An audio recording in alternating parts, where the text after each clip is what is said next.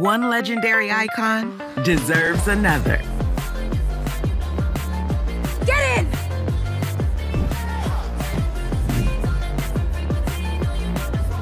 The next generation of Chevrolet vehicles is here.